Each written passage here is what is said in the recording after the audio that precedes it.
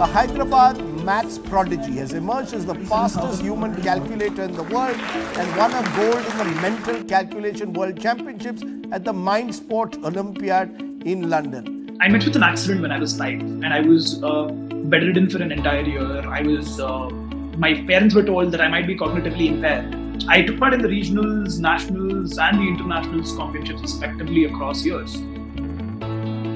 Breaking these records, which were once held by math maestros like Scott Flansburg and Shakuntala Devi, is a matter of national pride.